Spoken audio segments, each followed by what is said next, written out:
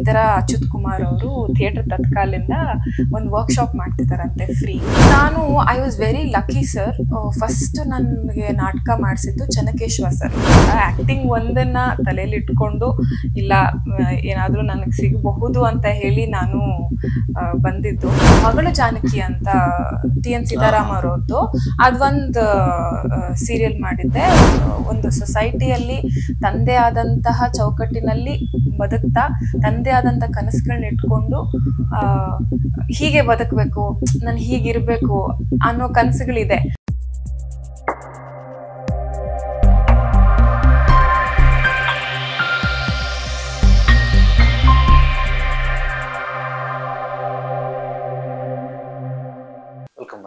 Thank you thank you ಹೇಗಿದ್ದೀರಾ? ಚೆನ್ನಾಗಿದ್ದೀನಿ sir ನೀವು? ಹೆಂಗ್ ನಡೀತದೆ ಕೆಲಸ ಎಲ್ಲ ಚೆನ್ನಾಗಿ ನಡೀತಾ ಇದೆ. ಪ್ರಮೋಷನ್ಸ್ ನಡೀತಾ ಇದೆ. ವೆರಿ ಸ್ಪೆಷಲ್ ಒಳ್ಳೆ ಎಕ್ಸ್ಪೀರಿಯನ್ಸ್ ಎಲ್ಲ ಕಡೆ ಹೋಗಿ ಮಾತಾಡುವಂತ experience very nice Ashwini Ambareesh ಅಲ್ಲ? ಕರೆಕ್ಟ್ ಕರೆಕ್ಟ್ ಅಂಬರೀಶ್ ನಿಮ್ಗೆ ಏನಾದ್ರು ಇಲ್ಲ ಇಲ್ಲ ನಥಿಂಗ್ ಲೈಕ್ ದಟ್ ನನ್ನ ತಂದೆ ಹೆಸರು ಅಂಬರೀಷ್. ನಮ್ದು ಅಪ್ಪ ಅಮ್ಮ ಎಲ್ಲ ಬೇರೆ ನಾಟ್ ಫಿಲ್ಮಿ ಬ್ಯಾಕ್ ಗ್ರೌಂಡ್ ಯಾರು ಫಿಲ್ಮ್ ಬ್ಯಾಕ್ ಗ್ರೌಂಡ್ ಇಲ್ಲ ನಮ್ ತಾತ ಮಾತ್ರ ನಾಟಕಗಳು ಮಾಡ್ತಿದ್ರಂತೆ. So maybe one of the reason ನಂಗೆ ಅಷ್ಟು ಇಂಟ್ರೆಸ್ಟ್ ಇರೋದು ಅದ್ ಬಿಟ್ರೆ ಬೇರೆ ಯಾರು ಇಂಡಸ್ಟ್ರಿಲಿ ಇಲ್ಲ ಎಲ್ಲ ಬೇರೆ ಫೀಲ್ಡ್ ಅಲ್ಲಿ ಇದ್ದಾರೆ ಓಕೆ ನಿಮ್ಗೆ ಬೇರೆ ಫೀಲ್ಡ್ ಅಲ್ಲಿ ಇದ್ರೆ ಅಂದ್ರೆ ಯಾರು ಫ್ಯಾಮಿಲಿ ನಿಮ್ ಜರ್ನಿ ಹೆಂಗಿತ್ತು ಸಿನಿಮಾ ಇಂಡಸ್ಟ್ರಿಗೆ ಸರ್ ಒಲ್ವು ನನಗ್ ನಿಜವಾಗ್ಲೂ ಗೊತ್ತಿಲ್ಲ ಹೆಂಗ್ ಬಂತು ಒಲ್ವು ಸಿನಿಮಾ ಬಗ್ಗೆ ಅಂತ.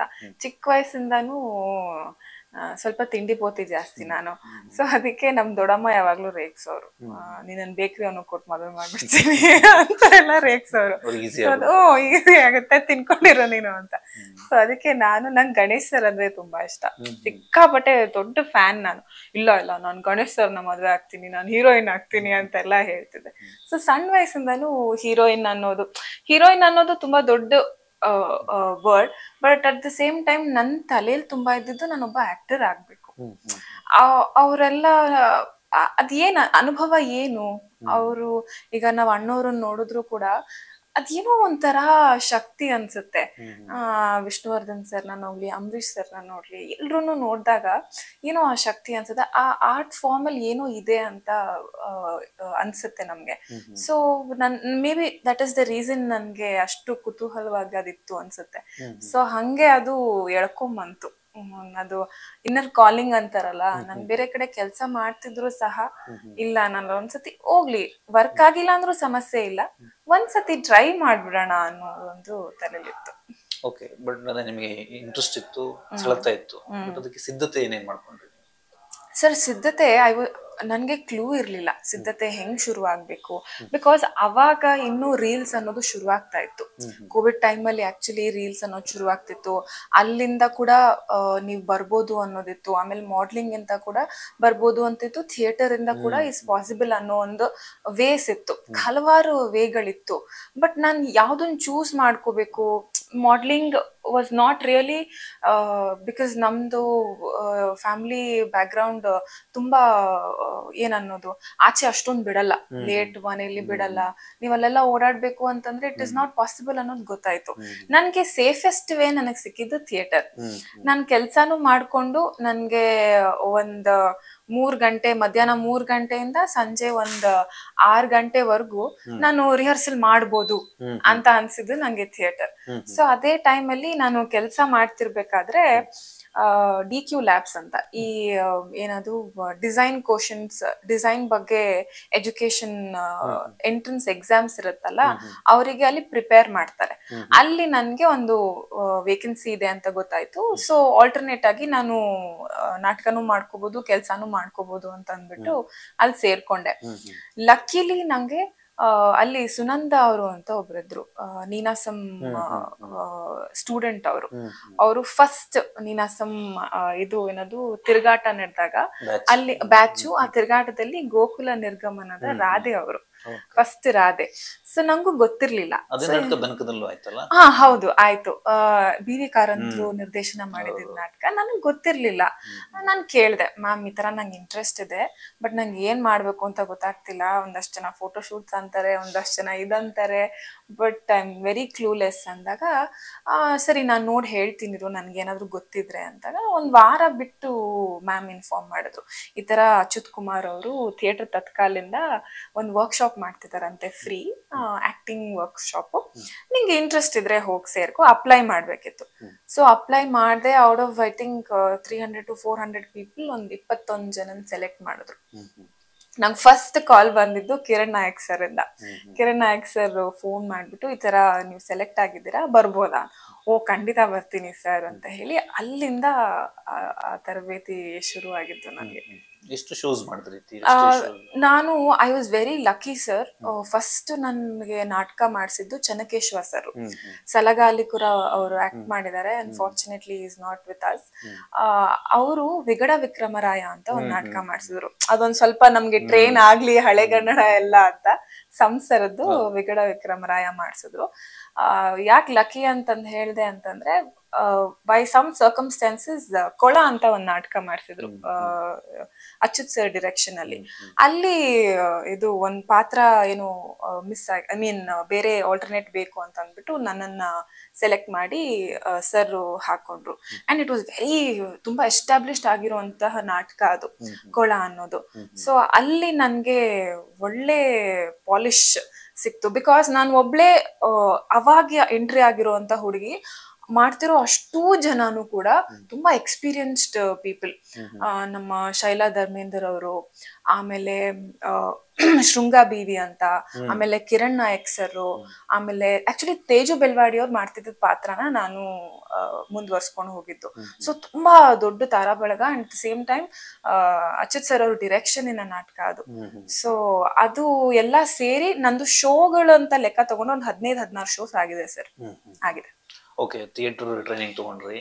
ಫಸ್ಟ್ ಸಿನಿಮಾ ಎಂಟ್ರಿ ಅನುಭವ ಹೇಗಿತ್ತು? ಸಿನಿಮಾ ಎಂಟ್ರಿ ಅನುಭವ ತುಂಬಾ ಬೇರೆನೆ ಇತ್ತು. ಗೊತ್ತಿರ್ಲಿಲ್ಲ ಹೆಂಗಿರುತ್ತೆ ಏನು ಅಂತ. ಆಕ್ಟಿಂಗ್ ಒಂದನ್ನ ತಲೆಯಲ್ಲಿ ಇಟ್ಕೊಂಡು ಇಲ್ಲ ಏನಾದ್ರೂ ನನಗ್ ಸಿಗಬಹುದು ಅಂತ ಹೇಳಿ ನಾನು ಬಂದಿದ್ದು. ಸೊ ಇಷ್ಟು ದೊಡ್ಡ ಅವಕಾಶ ಸಿಕ್ಕಿದ್ದು ಬಹಳ ಖುಷಿ ಅನ್ನಿಸ್ತು. ಒಂಥರ ಆ ಕಾಲಿಂಗ್ ಆ ಇನ್ನರ್ ಕಾಲಿಂಗ್ ಇಸ್ ರೈಟ್ ಅದನ್ನ ಕೇಳಿಸ್ಕೋಬೇಕು ಅಂತ ಅನ್ನಿಸ್ತು ನಮ್ಗೆ. ಕೇಳಿಸಿದ್ದು ನಿಜವಾಗ್ಲೂ ಒಳ್ಳೇದಾಯ್ತು ಅಂತ ಅನ್ನಿಸ್ತು. ಭೀಮಾ ಬೇರೆ ಸಿನಿಮಾಗಳು ಮಾಡಿದ್ರ. ಸರ್ ಮಾಡಿದ್ದೆ ನಾನು. ಇದು ಯಾವ್ದದು? ನಾಟ್ ಸಾರಿ ಸೀರಿಯಲ್ಗಳು ಮಾಡಿದ್ದೆ.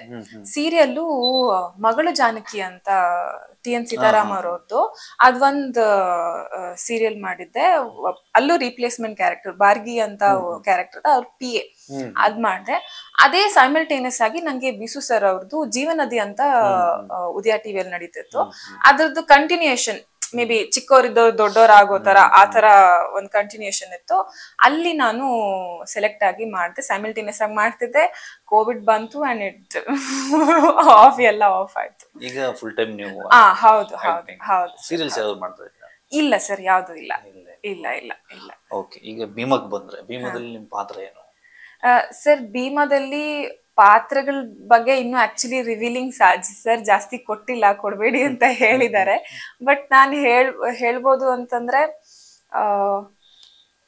very educative at the same time ತುಂಬಾ ರೆಸ್ಪಾನ್ಸಿಬಲ್ ಹೆಣ್ಮಗಳು ಅಂತ ಹೇಳ್ಬೋದು.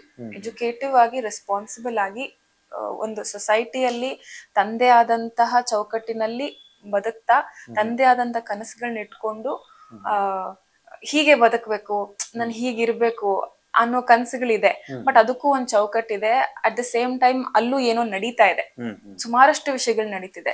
ಸೊ ಅದ್ರ ಮಧ್ಯೆ ಎಲ್ಲ ಒಂದ್ ಜೀವನ ಮಾಡ್ತಿರುವಂತ ಹುಡುಗಿ ಅಂತ ಹೇಳ್ಬೋದು. ಪಾತ್ರದ ಹೆಸರು ಇಲ್ಲ ಅದನ್ನ ಹೇಳ್ಬೇಡಿ ಅಂತ ಹೇಳಿದ್ದಾರೆ. ಮೇ ಬಿ ಆಗಸ್ಟ್ ನೈನ್ತ್ ಎಲ್ಲ ರಿವೀಲ್ ಏನು ಪ್ರೊಫೆಷನ್ ಏನು ಸಿನಿಮಾದಲ್ಲಿ ನಿಮ್ದು ಸಿನಿಮಾದ? ಹೇಳ್ಬೋದಾ ಹೇಳ್ಬಾರ್ದ ಗೊತ್ತಿಲ್ಲ ಸರ್. ಬಿಕಾಸ್ ಅವರು ಇಲ್ಲ ಹೇಳ್ಬೋದಾ ಹೇಳ್ಬಾರ್ದ ಬಿಕಾಸ್ ಎಲ್ಲೂ ಸರ್ ಅದನ್ನ ಇನ್ಫಾರ್ಮ್ ಮಾಡೂ ಇಲ್ಲ ಅಂಡ್ ಎಲ್ಲೂ ಬಿಟ್ಕೊಟ್ಟಿಲ್ಲ. ನೀವ್ ಸಾಂಗ್ಸ್ ಅಲ್ಲೂ ನೋಡಿದ್ರೆ ತುಂಬಾ ರಿವೀಲ್ ಆಗಿಲ್ಲ. ತುಂಬಾ ಅಲ್ಲ ರಿವೀಲೇ ಆಗಿಲ್ಲ. ಮೇಬಿ ಬಿಕಾಸ್ ಕತೆ ತುಂಬಾ ರಿಲೇಟ್ ಆಗಿರೋದ್ರಿಂದ ಎಲ್ಲೂ ಬಿಟ್ಕೊಟ್ಟಿಲ್ಲ ಸರ್. ಅದೇ ವಿಜಯ್ ಸರ್ ಒಂದು ಕಡೆ ಹೇಳ್ತಾ ಇದ್ರು ಅಂದ್ರೆ ಇದು ಈ ಡ್ರಗ್ಸ್ ಮಾಫಿಯಾ ಅದಕ್ಕೆ ಸಂಬಂಧ ಕತೆ ಅಂತ. ಅದ್ರಲ್ಲಿ ನೀವ್ ಹೆಂಗ್ ನಿಮ್ಮ ಪಾತ್ರ ಏನು ಅಂತ?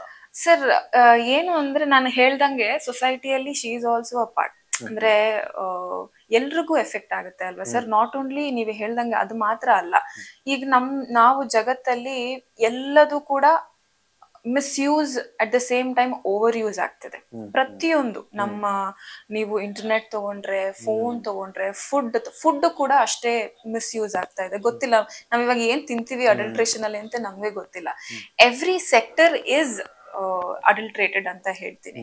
ಸೊ ಇದು ಒಂದು ಮೇಜರ್ ಸೆಕ್ಟರ್ ಅಡಲ್ಟ್ರೇಟೆಡ್ ಆಗಿರೋದ್ರಲ್ಲಿ ತುಂಬಾ ಮೇಜರ್ ಸೆಕ್ಟರ್ ಇದರಿಂದ ನೀವು ಆಚೆ ಬರೋದು ತುಂಬಾ ಕಷ್ಟ.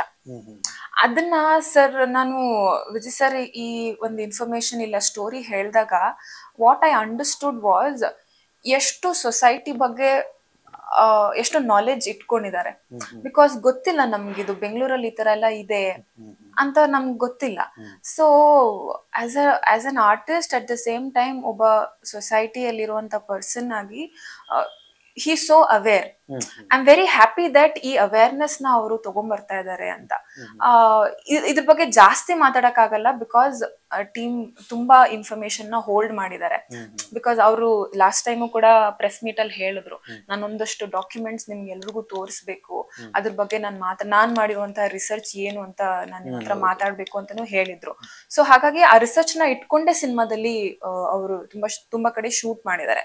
ಸೊ ಅದ್ರ ಬಗ್ಗೆ ನಾನು ಜಾಸ್ತಿ ಮಾತಾಡಕ್ಕಾಗಲ್ಲ ಬಟ್ ಇಷ್ಟ ಹೇಳಬಲ್ಲೆ ಸೊಸೈಟಿಯಲ್ಲಿ ನಡಿ ನಡೀತಿರುವಂತಹ ಏನನ್ನೋದು ನಮಗ್ ಗೊತ್ತಿಲ್ಲದೆ ಇರುವಂತಹ ಒಂದು ತುಂಬಾ ಚೆನ್ನಾಗಿ ಹೇಳಿದ್ರು ಒಂದು virus it is a kind of virus so ಅದನ್ನ ಅದ್ರ ಬಗ್ಗೆ ಅವೇರ್ನೆಸ್ ಮೂಡಿಸ್ಬೇಕು.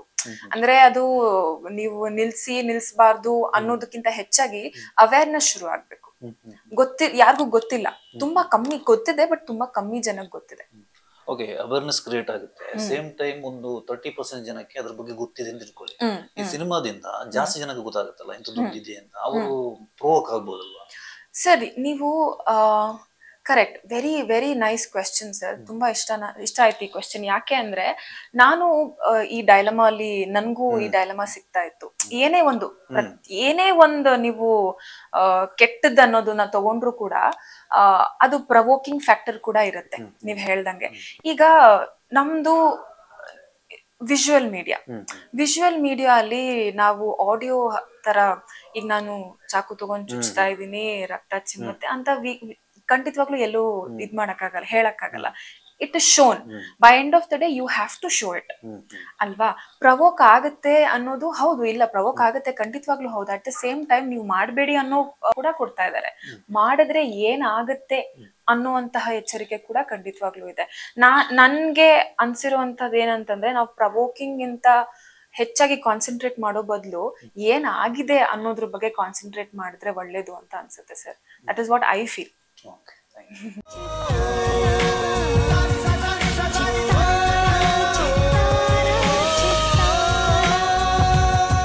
ಕನ್ನಡಿಗರ ಮನೆ ಮಾತಾಗಿರುವ ಸಿನಿ ಪತ್ರಿಕೆ ಚಿತ್ತಾರ ಕರ್ನಾಟಕದ number one readers choice entertainment magazine